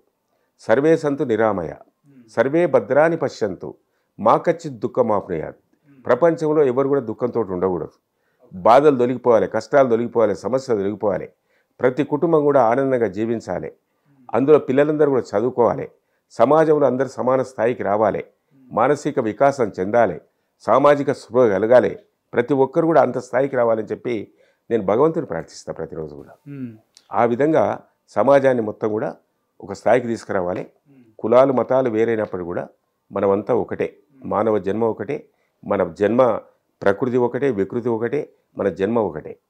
అదేవిధంగా మనమందరం కూడా ఈరోజు అన్ని స్థాయిలో ముందుకు రావాలి. ఇలా విద్యారంగంలో కానీ ఉపాధిలో కానీ ఉద్యోగంలో కానీ అదేవిధంగా అగ్రికల్చర్ వ్యవసాయంలో కానీ పారిశ్రామికంగా కానీ రాజకీయంగా కానీ ఆర్థికంగా కానీ ప్రతి వారు కూడా రాజ్యాంగ ఫలాలు అందాలి. ఈ బడ్జెట్ అనేది అందరి యొక్క దానిపైన హక్కు ఉంది. జనాభా ప్రాతిపదికన బడ్జెట్ కూడా కేటాయింపు జరగాలి ఇవాళ అట్టడుగున ఉన్నటువంటి అనగారిన కులాలను కూడా పెద్ద స్థాయికి ఉన్నత స్థాయికి తీసుకురావాలి. తీసుకొస్తున్నాం. ఎట్లా తీసుకొస్తారు? నేను అందరినీ ప్రతి ఒక్కరిని కూడా నాకు ఎంత సాధ్యమైతే అంత అన్ని పథకాలు. ఫస్ట్ నేను పేదల్లో నిరుపేద. నిరుపేద అక్కడి నుంచి స్టార్ట్ చేస్తా అక్కడి నుంచి స్టార్ట్ చేసి ఆ విధంగా మీరు. చెప్తున్నట్టే ముదిరాజులకు చేపలు ఇవ్వడం గొర్రెలు కాసుకునే వాళ్ళకి గొర్రెలు ఇవ్వడం బర్రెలు కాసుకునే వాళ్ళకి బర్రెలు ఇవ్వడం అంటే ఇది కుల రాజకీయాలకు ప్రేరేపిస్తుంది టీఆర్ఎస్ అనుకోవచ్చా? లేదంటే కుల వృత్తులను ఉత్పత్తి చేస్తుంది అనుకోవచ్చా? ఎట్లా అనుకోవచ్చు దీన్ని? అంటే ఇప్పుడు ఇది ఇప్పుడు వచ్చింది కాదు. సనాతన కాలం నుంచి పూర్వీకుల నుంచి మన ముత్తాతల తాతల నుంచి తండ్రుల నుంచి కులవృత్తులు ఉన్నాయి. కులవృత్తులు లేకపోతే సమాజం లేదు. ఓకే. ఇప్పుడు కమ్మరి కుమ్మరి వడ్రంగి రజకులు నాయి బ్రాహ్మణులు మేదర్లు ఉప్పర్లు సగర్లు అదే చేనేత గీత అదేవిధంగా గొర్రెల కాపర్లు. ఇది అనేక రకాల కులాలు ఉన్నాయి ఈ కులవృత్తులు చేయకపోతే మనకు అసలు అన్నం లేదు ఫుడ్ లేదు. వ్యవసాయదారు ఉన్నాడు. అదొక వృత్తే. పంట పండించకపోతే నువ్వు ఆ గ్రామానికి కానీ లేకుంటే ఆ మండలానికి కానీ ఆ ఈ రాష్ట్రానికి కానీ భారతదేశానికి అన్నం పెట్టే పరిస్థితి లేదు. గొర్రెలు మేకలు పెంచకపోతే నీకు మాంసం ఉత్పత్తి లేదు. ఉత్పత్తి లేదు. మరి అదే ముదిరాజులు కానీ గంగపుత్రుడు కానీ వాళ్ళ వాళ్ళ వృత్తి ఏంటి చేపలు పట్టే వృత్తి అదేవిధంగా పండ్ల తోటలు పట్టే వృత్తి కూరగాయలు అమ్ముకునే వృత్తి పొలాలు ఉంటాయి వ్యవసాయం ఉంటుంది. దానికి తోడు ఈ కుల వృత్తి అనేది అనుబంధ పరిశ్రమ. సరే మీరు చెప్తున్నట్టు ఉదాహరణకు తీసుకుంటే జయపాల్ యాదవ్ అనే వ్యక్తి వాళ్ళ కుల వృత్తులను పనులు ఎందుకు చేసుకుంటలేడు? అది ఎందుకు అసెంబ్లీలో ఉండి కొట్లాడుతుండు? నాకు మా దగ్గర మాకు ల్యాండ్ ఉంది. మా తాత ముత్తాతలు సంపాదించిన మా నాయన సంపాదించిన ల్యాండ్స్ ఉన్నాయి. యాక్చువల్గా మా నాయనగారు ఏడు మంది. మా తాత ఒక్కడే. మా తాత సంపాదించిన ల్యాండ్ ఉమ్మడి కుటుంబం మీది. ఉమ్మడి కుటుంబం. ఏడు మందికి మేము పద్నాలుగు మంది అన్నదమ్ములం. అయితే మాకు ల్యాండ్ ఉంది మేము వ్యవసాయం చేస్తాం. నేను కూడా కూర కూరగాయల తోట పెడతాను సర్పంచ్ కాడ నుంచి ఇప్పుడు కాదు. తర్వాత అన్ని రకాల పంటలు జొన్నలు కానీ ఆముదాలు కానీ కాటన్ కానీ కంది కానీ అన్ని రకాల పంటలు వేసుకుంటాం. ఇప్పుడు మాకు కూడా ఈ మిల్చ్ ఎనిమల్స్ ఉన్నాయి. బర్రెలు ఉన్నాయి ఆవులు ఉన్నాయి. మేము కూడా పాలు వెతుకుతాం. ప్రతిరోజు పాలు నేను ఇంటి ఇంటి దగ్గరికి పోతే బాయికాడికి వేస్తాను ఆ, విధంగా మిల్క్ కలెక్షన్ సెంటర్కు మా దగ్గర ఒక మినీ మిల్క్ చిల్లింగ్ సెంటర్ పెట్టించిన కోటి రూపాయలతోటి మా గ్రామంలో. మా కడతాల్లో ఎంసీసీ ఉంది. ఆ విధంగా రైతులు ఈ వ్యవసాయానికి అనుబంధంగా మనకు డైరీ ఫార్మ్స్ కానీ పోల్ట్రీ ఫార్మ్స్ కానీ హార్టికల్చర్ కానీ సెరికల్చర్ కానీ ఇతర అనుబంధ పరిశ్రమలు పెట్టుకుంటే రైతుకు ఆదాయం వస్తుంది. ఆదాయంతో రైతుకు పెట్టుబడి వస్తుంది. ఆ పెట్టుబడితోటి అధిక దిగుబడి వస్తుంది. అధిక దిగుబడితోటి ఆదాయం వస్తుంది. ఆదాయంతో కుటుంబాన్ని పోషించుకుంటాడు. ఆ కుటుంబాన్ని పోషించుకొని పిల్లలు చదివించుకుంటాడు. సగౌరవంగా జీవిస్తాడు. అది నా ఉద్దేశం. ఓకే.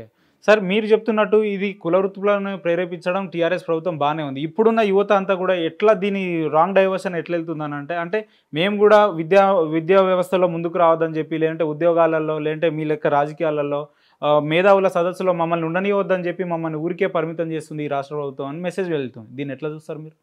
యువత కూడా వాళ్ళు అర్థం చేసుకోవాలి. వాళ్ళు కూడా అన్ని రంగాల్లో రాణించాలి. మేధావులు కావాలి ఐఏఎస్లు కావాలి ఐపీఎస్లు కావాలి డాక్టర్స్ కావాలి ఇంజనీర్స్ కావాలి.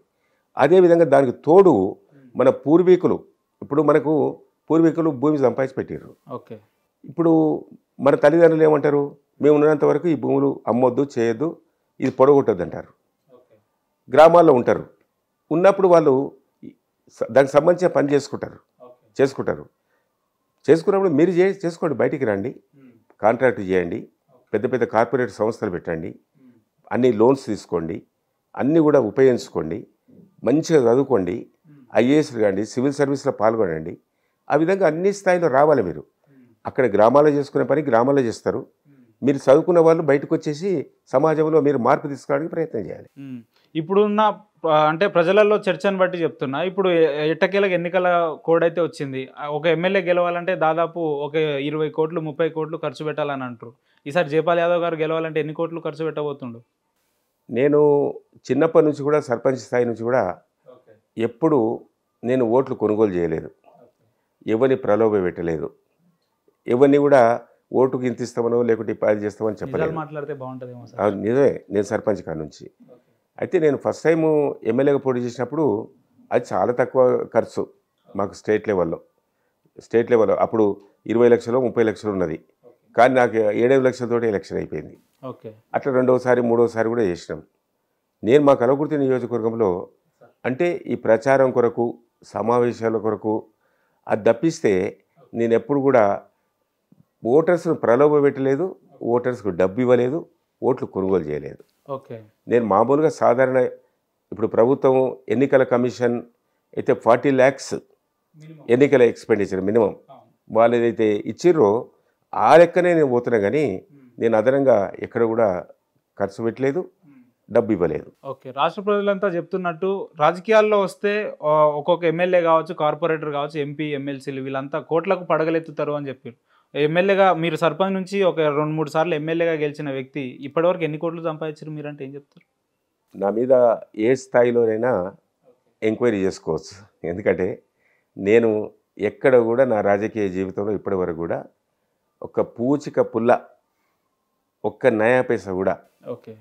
నేను అక్కడ పనిచేసేటువంటి కాంట్రాక్టర్స్ కానీ లేకుంటే అక్కడ పనిచేసేటువంటి లేఅవుట్స్ కానీ లేకుంటే అక్కడ ఉన్నటువంటి కన్స్ట్రక్షన్స్ కానీ నేను ఇంతవరకు నా కాన్స్టిట్యూన్సీలో వందలాది వేలాది లేఅవుట్స్ నడిచినప్పుడు కూడా నేను ఎవరిని కూడా ఇంతవరకు ఆశించలే.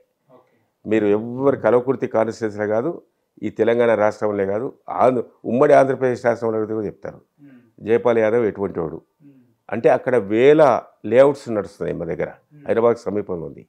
కడతాల్ మండల్ కానీ తలకొండపల్లి కానీ మాడుగుల కానీ ఆమనగల్ కానీ వెల్దండ కానీ కలవకుర్తి కానీ చాలా భూమ్ నేను ఇంతవరకు ఒక్క రూపాయి కానీ ఎవరి దగ్గర ఆశించలేదు.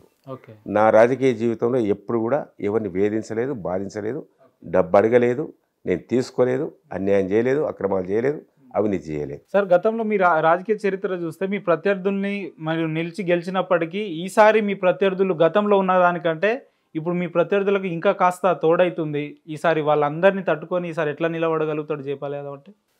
అంటే ఒకటే ప్రత్యర్థులంటే రాజకీయ దురుద్దేశంతో కొంతమంది అంటే ఇగో ప్రాబ్లం వల్ల కొంతమంది ఉంటే ఉండొచ్చు కానీ ప్రజల్లో మాత్రం మంచి స్పందన ఉంది. అంటే నేను చేసినటువంటి సర్వీస్ కానీ మా కేసీఆర్ నాయకత్వంలో మా ప్రభుత్వం ఇచ్చినటువంటి ప్రభుత్వ పథకాలు కానీ ప్రతి కుటుంబానికి అందినాయి ప్రతి వ్యక్తికి అందినాయి. ఏదో ఒక పథకం ప్రతి వ్యక్తికి అందింది. ఆ విధంగా ఈరోజు ప్రభుత్వం పట్ల చాలా సానుకూలత ఉంది. కేసీఆర్ పథకాలు ప్రజల్లో చాలా ఇవాళ గుండెల్లో నిలిచిపోయినాయి. మరి నేను నిరంతరం పనిచేస్తూ ప్రజల మధ్యన ఉంటూ ఆ పథకాలు మొత్తం కూడా అందించడం వ్యక్తిగతంగా కూడా ప్రజలకు చాలా సాయం చేసినాం. వాళ్ళకు ఉన్నటువంటి ఏవైతే సమస్య ఉంటుందో వెంటనే సమస్యను పరిష్కారం చేయడానికి కూడా ఆలస్యం చేయకుండా ఆ విధంగా ప్రజల మధ్య నుండి పనిచేసిన కాబట్టి మాకు ఒకవైపు కేసీఆర్ ప్ర పథకాలు ప్రభుత్వ విధానాలు సిద్ధాంతాలు దానికి తోడు నేను ఎమ్మెల్యేగా చేసినటువంటి సేవ. ఇవి రెండు తోడైనాయి కాబట్టి ఓట్లు ఈ వేసేవాళ్ళు ప్రజలు. ఓకే. ఇప్పుడు నాయకులు ప్రచారం చేస్తారు. అందరూ కూడా ప్రజల దగ్గరికి వెళ్- వెళ్తారు. కాంగ్రెస్ మేనిఫెస్టో కాంగ్రెస్ చెప్తుంది. బీజేపీ మేనిఫెస్టో బీజేపీ చెప్తుంది. మా బీఆర్ఎస్ మేనిఫెస్టో కూడా రేపు పదిహేను నాడు ముఖ్యమంత్రి గారు మళ్ళీ ప్రకటిస్తారు. మా మేనిఫెస్టో కూడా మేము చెప్తాం. ప్రజలు అందరి అందరు చెప్పింది వింటారు. విన్న తర్వాత ఓటు వేసేటప్పుడు ఓన్ డిసిషన్ తీసుకుంటారు. ఒకప్పుడు ఉండే మీరు చెప్పింది. పటేల్ పట్వారి వ్యవస్థ ఉన్నప్పుడు అప్పుడు ఆ ఆ గ్రామాల్లో వాళ్ళు చెప్పినట్టు ప్రజలు వినేది.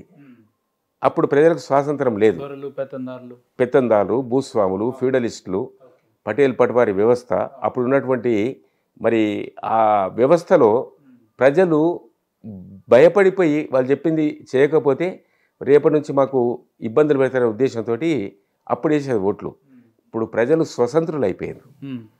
వాళ్ళు ఓన్గా సొంతంగా ఆలోచన చేసే శక్తి వచ్చింది. ఇలా మీడియా వచ్చింది. ఇలా ప్రింట్ మీడియా వచ్చింది. ఎలక్ట్రానిక్ మీడియా వచ్చింది. సోషల్ మీడియా వచ్చింది. వాళ్ళు కూడా ఈరోజు బయట తిరుగుతుర్రు. ఆఫీసులకు పోతుర్రు. రాజకీయ మీటింగ్లకు పోతుర్రు. అనేక రకాలు వాళ్ళకు ఈరోజు జనరల్ నాలెడ్జ్ కూడా బాగా పెరిగింది. అందువల్ల ఈరోజు స్వతంత్రంగా డిసిషన్ తీసుకున్నటువంటి ఇలా వాళ్ళకు ఆ ధైర్యం వచ్చేసింది. ఆ రాజకీయ అవగాహన వచ్చేసింది. కాబట్టి ఎవరో చెప్తే ప్రజలు ఓట్లేసేటువంటి పరిస్థితులు లేరు. లేరు. అందుగురించి నేను అదే అంటున్నా. మీరు ఇందాక చెప్పినట్టు టీఆర్ఎస్ మేనిఫెస్టో టీఆర్ఎస్ ఉంటుంది కాంగ్రెస్ కాంగ్రెస్ ఉంటుంది బీజేపీ ఈ బీజేపీ కాంగ్రెస్ని కాదని చెప్పి టీఆర్ఎస్ మేనిఫెస్టోకి ఓట్లు పడాలి అని అంటే ఎందుకు ఓటు వేయాలంటున్నా ప్రధానంగా? టీఆర్ఎస్కు ఓట్లు వేయాలంటే ఇప్పుడు రెండు వేల పద్నాలుగు ముందు తెలంగాణ రాష్ట్రం పరిస్థితి ఏ విధంగా ఉంది? రెండు వేల పద్నాలుగు తర్వాత కేసీఆర్ ముఖ్యమంత్రి అయిన తర్వాత తెలంగాణ రాష్ట్రంలో ఎన్ని కొత్త పథకాలు వచ్చినాయి? ఆ పథకాల వల్ల ప్రజలకు ఎలాంటి లబ్ధి జరిగింది? ప్రజలందరూ కూడా ఆలోచిస్తారు రెండు వేల పద్నాలుగు ముందు మన పరిస్థితి ఏంది? రెండు వేల పద్నాలుగు తర్వాత మన పరిస్థితి ఏంది? ఆ విధంగా ఆలోచిస్తారు మీరు చూడండి ఒకసారి. కేసీఆర్ వచ్చిన తర్వాత ఇవాళ రెసిడెన్షియల్ స్కూల్స్ ఎస్సీ కావచ్చు ఎస్టీ కావచ్చు బీసీ కావచ్చు మైనార్టీ కావచ్చు గర్ల్స్ కావచ్చు బాయ్స్ కావచ్చు ఈరోజు ఒక వెయ్యి ఒక రెసిడెన్షియల్ స్కూల్స్ తెలంగాణ రాష్ట్రం ఉంది. భారతదేశంలో ఏ రాష్ట్రం లేదు. హై స్కూల్స్ మొత్తం కూడా అప్గ్రేడ్ అయినాయి. జూనియర్ కాలేజ్ అయినాయి. జూనియర్ కాలేజ్ మొత్తం కూడా డిగ్రీ కాలేజ్ అయినాయి. ఇలా ప్రతి జిల్లాకు ఒక మెడికల్ కాలేజ్ వచ్చింది. ప్రతి జిల్లాకు ఒక మెడికల్ కాలేజ్ వచ్చింది. హైదరాబాద్లో కూడా ఇలా మొత్తం కార్పొరేట్ ధీటుగా దానికి ధీటుగా నాలుగు దిక్కుల నాలుగు ఇలా మొత్తం కూడా పెద్ద హాస్పిటల్స్ అవి కూడా వచ్చేసినాయి. అంటే ఈరోజు అన్ని అన్ని రంగాలను కూడా ప్రజల ముంగిడ వికే వికేంద్రీకరించడం కాదు కేంద్రీకరించడం. అంటే ప్రజల వద్దకే పాలన అనే విధంగా ఈరోజు పరిపాలన కొనసాగు. Okay okay sir. ఇప్పుడు ఇందాక అంటే గతంలో జరిగిన సమావేశాల్లో స్వయంగా రాష్ట్ర ముఖ్యమంత్రి గారే మాట్లాడుతూ దళిత బంధు పథకంలో ఎమ్మెల్యేలు ముప్పై శాతం కమిషన్ తింటున్నారు నా దగ్గర ఆధారాలతో సహా ఉందన్నారు. ఆ ఆధారాల్లో జపాల్ యాదవ్ గారి పేరుందా? నా పేరు అస్సలు లేదు. నేను ఎందుకంటే నేను చిన్నప్పటి మీరు కూడా ఒక ఎమ్మెల్యే కాబట్టి అవును నేను చిన్నప్పటి నుంచి మాది పెట్టే చేయి కానీ తీసుకునే చేయి కాదు. మా తాత ముత్తాతల నుంచి కూడా మేము అనేక మందికి దాన ధర్మాలు చేసినటువంటి కుటుంబం మాది. పెళ్ళిళ్ళు అయితే ఫ్రీగా పుస్తమెటీలు కూడా చేయించినటువంటి కుటుంబం. ఎవరికైనా ఆపద వస్తే ఆదుకునేటువంటి కుటుంబం. ఆ విధంగా మా కుటుంబానికి అప్పటి నుంచి ఆ సంస్కృతి ఉంది. మేము ఎక్కడ కూడా ఇలాంటి నీచమైన పనులకు ఇలాంటి దానికి మేము ఎక్కడ కూడా ప్రలోభపడి తీసుకునే ప్రశ్న లేదు. ఇంకా దళితులను ఉద్ధరించడానికి ఇంకా మేము ఇంకా కావాల్సిన సహాయం చేస్తాం. ఎవరైనా. మాకు ఎక్కడ కూడా మే నేను చెప్తున్నా కదా నేను ఏ గ్రామానికి పోయినా ఏ ప్రోగ్రాంకి అయినా. నేను మా వాళ్ళకి చెప్తా మీరు ఎవరు కూడా కోళ్ళ కోయకండి మీరు మేకలు కోయకండి గుర్ర కోయకండి మాంసం పెట్టకండి ఏదో మాకు ఇంత పప్పు అన్నం పెట్టండి. ఓకే. అంతే నేను తినేది పప్పు అన్నమే కాబట్టి మీరు కూడా నష్టపోవద్దు. మీరు కూడా పప్పు అన్నం పెట్టండి కాకపోతే అది కూడా పెట్టకపోతే నేను క్యాంప్ ఆఫీస్లో పెట్టుకుంటాను చెప్తా మ్మ్. అంటే రాజకీయాల్లో ఇంత సున్నితమైన వ్యక్తి ఉండడం చాలా వరకు సాధ్యం ఉండదు కదా? మీకు ఎట్లా పాసిబుల్ అవుతుంది ఇది? నాకు చిన్నప్పటి నుంచి ఒక డిసిప్లిన్గా పెరిగినటువంటి వాడిని. ఓకే. నేను మా గ్రామంలో మూడో తరగతి వరకు చదివిన. తర్వాత నాలుగో తరగతి ఐదో తరగతి నుంచి కడతాల్లో రోజు ఐదు కిలోమీటర్లు నడిచిపోయేది నడిచి ఐదు కిలోమీటర్లు నడిచి వచ్చేది అట్లా టెన్త్ క్లాస్ వరకు ఎస్ఎస్సి వరకు కడతాల్లో ప్రతిరోజు పది కిలోమీటర్లు నడక. మా అమ్మ ఇంటి దగ్గర రెండు రొట్టెలు చేసి ఇంత మామిడికాయ చట్నీ పెట్టి ఇంత వెన్న పెడితే అది మధ్యాహ్నం తిని మళ్ళీ ఇంటికి వచ్చి చదువుకునేది. చదువుకున్న తర్వాత హాలిడేస్లో బావుల దగ్గరికి పోయేది పొలాల దగ్గరికి వెళ్ళేది. మాకు మేకలు ఉండే గొర్రెలు ఉండే ఆవులు ఉండే. మాకు ఎందుకంటే పెద్ద వ్యవసాయం. ఆ విధంగా ఒక సిస్టమేటిక్గా మా గ్రామంలో ఈ గీతా జయంతి అని ప్రతి ఏకాదశికి భగవద్గీత పారాయణం జరుగుతుండే. ఓకే. ప్రతి ఏకాదశికి. ప్రతి ఏకాదశికి ఒకరింట్లో పారాయణం జరిగేది. అట్లా భగవద్గీత పారాయణానికి వెళ్ళి గీతా జయంతులకు వెళ్ళి నాకు ఒక భగవద్గీత సందేశం మీద ఒక నమ్మకం కలిగి ఆ విధంగా నేను కూడా అప్పటి నుంచి చిన్నప్పటి నుంచే ఐదో తరగతి ఆరో తరగతి నుంచే ఆ విధంగా డిసిప్లిన్ ఒక క్రమశిక్షణ వచ్చింది ఒక సిస్టమ్ ఏర్పడ్డది. అదే సిస్టాన్ని కొనసాగిస్తుంది. అంటే రాజకీయాల్లో మీ మీద ప్రత్యర్థులు ఎన్నో ఆరోపణలు చేస్తున్నప్పటికీ వ్యక్తిగతంగా జైపాల్ యాదవ్ అంటే ఇప్పటి వరకు తన రాజకీయ జీవితంలో ఎటువంటి అంటే వివాదాలకు తావివ్వకుండా ఎదిగిన నాయకుల్లో ప్రధానంగా మీ పేరే వినిపిస్తూ ఉంటారు సార్. రాజకీయాలలో మీకు ఇంత పొలైట్గా మీరు పాలిటిక్స్ని ముందుకు తీసుకుపోవడంలో ఎవరు మీకు ఇన్స్పిరేషన్ అంటే ఏం చెప్తారు? రాజకీయంలో ఇంత పొలైట్గా తీసుకుపోవడం అంటే ఎన్టీ రామారావు గారు ఇన్స్పిరేషన్. ఎందుకంటే ఎన్టీఆర్ గారు అంటారేమో అనుకున్నా కానీ. NTR first. First NTR KCR గారు కూడా ఎన్టీఆర్ దగ్గర ఆయన ఆయన కూడా ఆయన కూడా క్యాబినెట్లో ఉన్నవాడే. అప్పుడు ఆయన కూడా ఎన్టీఆర్ ఉన్నప్పుడు పోటీ పనిచేసినాడు. కలిసి పనిచేసినాడు అయితే ఎన్టీఆర్ ఎట్లంటే చాలా డిసిప్లైన్డ్ మేనర్ ఓకే. ఆయన ముఖ్యమంత్రి అయితే కూడా ఆయన ఒక్క రూపాయి జీతం తీసుకునేది. ఒకటే రూపాయి జీతం. అదేవిధంగా ఆయన ప్రభుత్వానికి సంబంధించినటువంటి ఎప్పుడు క్వార్టర్లో ఉండలే ఆయన సొంత ఇంట్లోనే ఉన్నాడు ముఖ్యమంత్రిగా చేయలే. చేయలేదు. సొంత ఇంట్లోనే ఉన్నాడు. ఇంకోటి ఏంటంటే ఆయన పెట్టినటువంటి స్కీమ్స్ ఆ రోజుల్లో చాలా ప్రజల్లో చాలా పేరు ప్రఖ్యాతులు వచ్చినాయి. రెండు రూపాయల కిలో బియ్యం కావచ్చు సగం ధరకు చీర దోవతి కావచ్చు అదేవిధంగా పక్కా గృహాలు కావచ్చు అదేవిధంగా స్లాబ్ సిస్టమ్ మీద రైతులకు కరెంట్ కావచ్చు హార్స్ పవర్కు యాభై రూపాయల చొప్పున అట్లా ఒక ఎనిమిది పది స్కీమ్స్ రెసిడెన్షియల్ కాలేజ్ స్కూల్స్ కూడా అప్పుడే స్టార్ట్ అయినాయి. ఓకే. బీసీలకు కానీ ఎస్సీలకు కానీ ఎస్టీలకు కానీ ఎన్టీ రామారావు నుంచి స్టార్ట్ అయినాయి. అంటే అప్పుడున్నటువంటి ఆ హయాంలో ప్రజలు ఈ విధమైనటువంటి ప్రోగ్రామ్స్ ఉంటాయి మాకు ఇస్తారని ఎవరు అనుకోలే. ఓకే. ఇప్పుడు ఫ్రీగా ఇస్తారు బియ్యం కానీ అప్పుడు రెండు రూపాయలకి ఇచ్చు అప్పుడు నాలుగు రూపాయలే ఉంది బజార్లో. అయినప్పుడు కూడా అవి చాలా పథకాలకు పేరు వచ్చింది ప్రజల్లో చాలా ఎన్టీ రామారావు అంటే చాలా అభిమా బాగా రెస్పెక్ట్ పెరిగింది. ఆ విధంగా తర్వాత ఎన్టీ రామారావు తర్వాత నేను చాలా రోజులు ఎన్టీఆర్ ఉన్నప్పుడు నేను ప్రధాన కార్యదర్శిగా పనిచేసిన చంద్రబాబు నాయుడు ఉన్నప్పుడు నేను అధ్యక్షుడిగా పనిచేసిన బీసీ ఫైనాన్స్ కార్పొరేషన్ చైర్మన్ చేసిన తర్వాత ఎన్టీ రామారావు ఓడిపోయిన తర్వాత మా కలవకుర్తి నుంచి సర్వీస్ చేసి ప్రజల మధ్యకి వెళ్ళి ఎమ్మెల్యేనైనా నా కలవకుర్తి ఎన్టీ రామారావు ఓడిపోయాడు. నేను గెలిచిన. ఎందుకు గెలిచిన అంటే సర్వీస్ చేసిన కాబట్టి నా ప్రజలు నాకు ఓట్లేసి గెలిపించారు. వ్యక్తిగతంగా గెలిపించారు. కాబట్టి మనకు నేను ముందు చెప్పినట్టుగా సేవ చేయడం చాలా ముఖ్యము.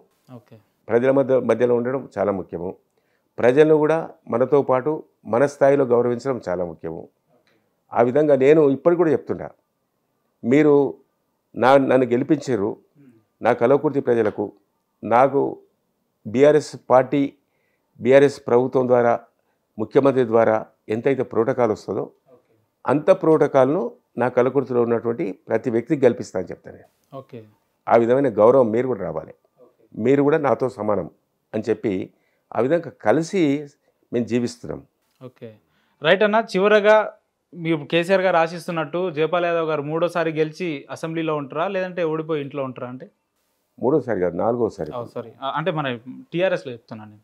నాలుగోసారి మళ్ళీ కేసీఆర్ గారు నాకు మరి అనౌన్స్ చేసిండు. రేపు ఫిఫ్టీన్త్ నాడు బీఫామ్ ఇస్తున్నాడు. గెలుపు అంతేగాని ఎక్కడ ఓటమి ఉండదు. ఓకే. ఓటమి ఉండదు. గెలుపు ఉంటుంది. ఆ గెలిచిన తర్వాత మా హైకమాండ్ మా నాయకుడు కేసీఆర్ గారు ఏ విధంగా డైరెక్షన్ ఇస్తే ఆ డైరెక్షన్లో పనిచేస్తాం. ఓకే. ఒకవేళ జయపాల్ యాదవ్ గారు ఎమ్మెల్యేగా గెలిస్తే ధోతి పంచ కట్టే ఈ ఈ యొక్క జయపాల్ యాదవ్ అనే వ్యక్తి ఎమ్మెల్యేగానే ఉంటారా? మంత్రి క్యాబినెట్లో ఉంటారా అంటే అంటే నేనైతే హైకమాండ్ చెప్పినటువంటి డైరెక్షన్లే నడుస్తాను. ఓకే. తర్వాత హైకమాండ్ మా కేసీఆర్ గారు ఏ విధమైన నిర్ణయం తీసుకున్నా నాకు ఏ- బాధ్యతలు అప్పచెప్పినా ఆ బాధ్యత సక్రమంగా నిర్వహించి ఓకే. ఇచ్చినటువంటి బాధ్యత కూడా ప్రజలకు లాభం జరిగే విధంగా తెలంగాణ రాష్ట్రం అభివృద్ధి జరిగే విధంగా తెలంగాణ రాష్ట్రంలో సంక్షేమం కూడా అందరికీ అందే విధంగా నేను తప్పకుండా ఆ విధంగా పనిచేసి కేసీఆర్కు మంచి పేరు తీసుకు అంటే మీకు వ్యక్తిగతంగా లేదా సార్? ఒకవేళ క్యాబినెట్లోకి వెళ్తే హోదా పెరుగుతుంది అధికారాలు ఎక్కువ వస్తాయి ఇంకా అత్యంతంగా ప్రజలకు సేవ చేసే భాగ్యం మీకు వస్తుంది మీకు మంత్రి కావాలని లేదా? కేసీఆర్ గారు ఏ బాధ్యత ఇస్తే ఆ బాధ్యత చేస్తానని చెప్పిన. ఓకే. ఇంకోటి ఏంటంటే అలాంటి బాధ్యత ముఖ్యమంత్రి గారు కల్పించినప్పుడు నేను తప్పకుండా తెలంగాణ రాష్ట్రానికి అన్ని విధాల న్యాయం చేయడానికి తెలంగాణ రాష్ట్ర అభివృద్ధి కొరకు. మరి మా ప్రభుత్వం తీసుకున్న నిర్ణయాలు మా ముఖ్యమంత్రి ఇచ్చే డైరెక్షన్ పనిచేసి తప్పకుండా అందరు కూడా అన్ని రకాల అభివృద్ధి కార్యక్రమాలు సంక్షేమ కార్యక్రమాలు అందించడానికి నేను తప్పకుండా ఎల్లవేళ్ళ పనిచేస్తాను. సార్వత్రిక ఎన్నికలు అత్యంత సమీపంలో ఉన్న నేపథ్యంలో కల్వకుర్తి నియోజకవర్గ ప్రజలకు ఏదైనా సందేశం ఇవ్వాలి జయపాల్ యాదవ్ గారు అంటే మా ఛానల్ నుంచి ఏం చెప్తారు మీరు? మీ ఛానల్ నుంచి మా కలవకుర్తి ప్రజలకు విజ్ఞప్తి చేస్తున్నా. నేను నన్ను ఆశీర్వదించరు దీవించరు ఓట్లేసిర్రు మూడుసార్లు గెలిపించరు మీకు సేవ చేసే భాగ్యం కల్పించరు అన్ని రంగాలు కూడా మీ అందరి సహకారంతో అభివృద్ధి చేయడం జరిగింది. దాంతోపాటు నాలుగోసారి మన ముఖ్యమంత్రి గారు మళ్ళీ అభ్యర్థిగా ప్రకటించడం జరిగింది. అభ్యర్థిగా ప్రకటించి బీఫామ్ కూడా ఇవ్వడం జరుగుతుంది. మళ్ళీ నాలుగోసారి మీ దగ్గరికి నేను రావడం జరుగుతుంది. మీరందరూ కూడా మీ కుటుంబ సభ్యుని మాదిరిగా మీ ఆత్మీయుని మాదిరిగా మీరు తప్పకుండా ఆశీర్వదించి దీవించి మళ్ళీ ఎన్నికల్లో గెలిపించాలని నేను విజ్ఞప్తి చేస్తా ఉన్నాను. నేను నా ప్రజలకు ఒక్కటే మనవి చేస్తున్నా. నేను రెండు వేల మూడు సంవత్సరంలో ఎమ్మెల్యేగా పనిచేస్తున్న సందర్భంలో మాడుగుల మండల్లో నా పైన నలుగురు నక్సలైట్లు ఏకే ఫార్టీ సెవెన్ తుపాకులతోటి యాభై తొమ్మిది రౌండ్లు కాల్పులు జరిపారు. అంత కాల్పులు జరిపినప్పుడు కూడా నా కలవకుర్తి ప్రజల ఆశీస్సులతోటి దీవెనలతోటి దేవుని దయవల్ల బతికి బయటపడడం జరిగింది. ఈరోజు మీ ముందుండి పనిచేసే భాగ్యం కల్పించారు. అయితే నేను మీకు ఆమిస్తున్న మీరు ఆశించిన విధంగా మీరు కోరిన విధంగా మీ సలహాల ప్రకారం నేను మళ్ళీ ప్రభుత్వం ద్వారా పార్టీ ద్వారా అన్ని కార్యక్రమాలు కూడా పెద్ద ఎత్తున తీసుకొచ్చి కలవకుర్తిలో మిగిలిపోయినటువంటి పనులు మొత్తం కూడా పూర్తి చేసి తప్పకుండా మీకు అందుబాటులో ఉండి పనిచేస్తారని కూడా ఈ సందర్భంగా తెలియజేస్తా ఉన్నాను. అదేవిధంగా నాకు వేరే వ్యాపకాలు లేవు వ్యాపారాలు లేవు ఇతరత్ర నాకు వేరే పనులు లేవు. నేను చిన్నప్పటి నుంచి ఒక సర్పంచ్ స్థాయి నుంచి ఇప్పటి వరకు ప్రజల మధ్య ఉన్నా కాబట్టి నా కంఠంలో ప్రాణం ఉన్నంత వరకు నా బొంది అదే నా చివరి రక్త బొట్టు వరకు కూడా నేను కలవకృతి ప్రజానికానికి అన్ని విధాల అన్ని రకాల అన్ని అభివృద్ధి కార్యక్రమాలు చేపట్టి మీ రుణం తీర్చుకుంటా మీరు ఆశీ ఆశీర్వదించి దీవించి నాలుగోసారి మళ్ళీ ఎమ్మెల్యేగా గెలిపించాలని మీరందరూ కూడా ప్రార్థిస్తున్నారు. రైట్ సార్ మీ నియోజకవర్గ ప్రజలు ఆశిస్తున్నట్టు వ్యక్తిగతంగా మేము కూడా రాబోయే రోజుల్లో మీరు క్యాబినెట్లో ఉండాలి మీరు మంత్రిగా ఉండి మాకు ఇంటర్వ్యూ ఇవ్వాలని కోరుకుంటున్నాం. మీ అమూల్యమైన సమయాన్ని కేటాయించినందుకు మాకు ప్రత్యేక ధన్యవాదాలు sir. Thank you sir thank you so much